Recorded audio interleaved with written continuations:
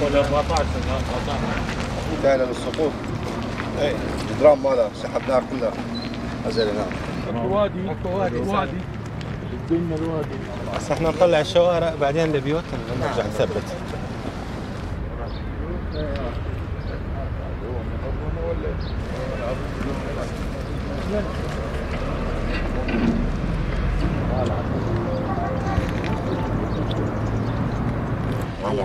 سيد المحافظ إحنا يعني جينا عليك عليه ما على حد. يعني إحنا بس غداي بدنا ترجع. بس ما بدكش إحنا صار نشقد إحنا تبهدلنا ثلاث سنين السبب من البيت ما ما مبدل.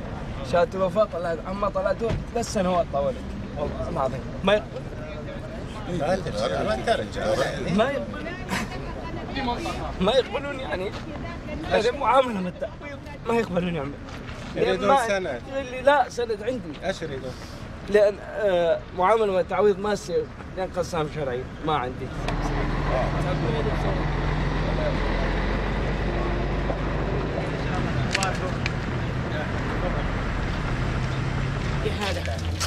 هذا بيت القسم وهذا البيت انطوه غرفه انطوه بس هذا الانقاذ يشيلوا من هنا إيه، كل حيايات وجراد يحيفون الله يرضى ابو ولادي مات وحالتنا حال الضيم ولا منظمات تعمروا ولا ابد لا جتنا تعويضات ولا عندنا فلوس من الإيجارات. عندكم مي كهرباء إيه عندنا عندنا الحمد لله. كل شيء عندنا؟ هذا همزه انشال عن النار. بس هذا جيب منين؟ هذا مسدود. منين مسدود؟ لا الأخير. كان مسدود كان لا شنو بتاعنا؟ اليوم انفتح يلا. الله يحفظك. الله يبارك فيك.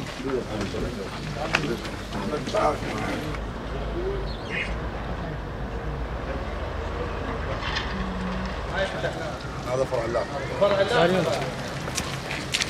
قابلوا فرع لله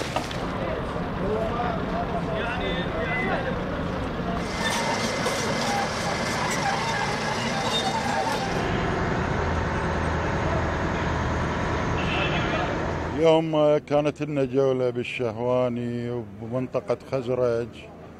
إحنا نبارك آه، جهود الأخت النائبة هدى جار الله اللي أيضا تساعد أهلها في سبيل أنه آه، ترفع الأنقاض ترفع الدور العائلة للسقوط.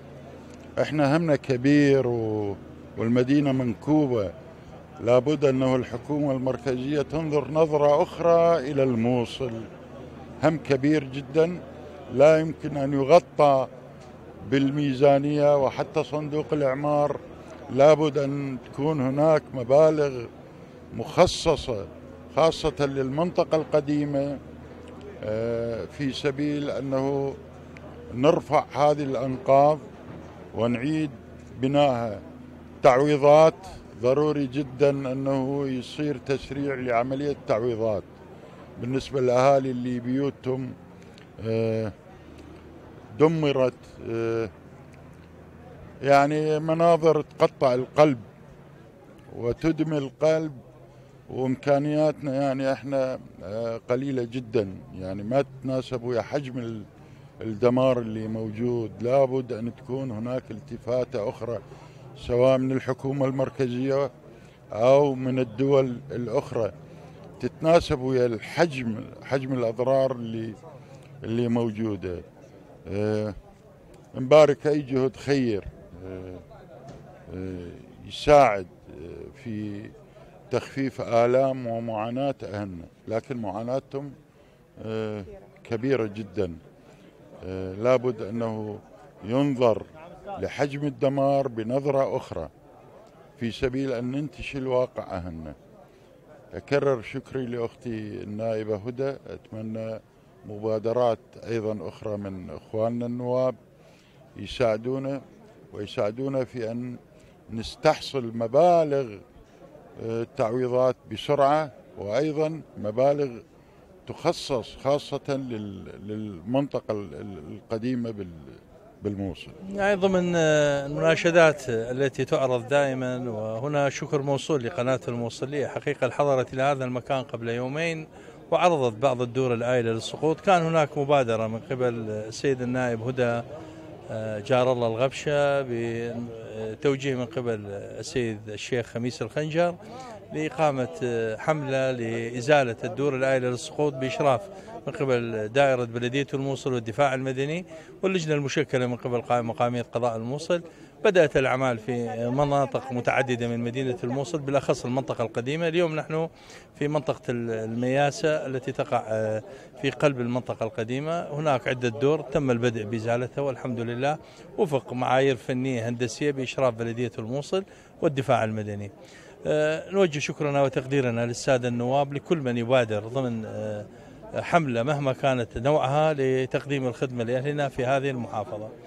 هذا من جانب إضافة إلى المناشدات التي وردتنا من الأخوة آه، المواطنين باتجاه عمل المولدات. هناك اليوم إن شاء الله أمر من السيد محافظ نينوى أن يكون العمل كالآتي آه، للعوائل التي ترغب بالاشتراك. سيكون عمل المولدات من الساعة الثانية عشر ظهرا حتى الساعة الثانية ليلا تتخللها ساعة استراحة كل ثلاث ساعات على أن تكون الساعة الأخيرة ضمن العمل. أي إذا وقعت الاستراحة من ال 11 ل 12 لا تؤخذ الاستراحة وتستمر. هذا من جانب.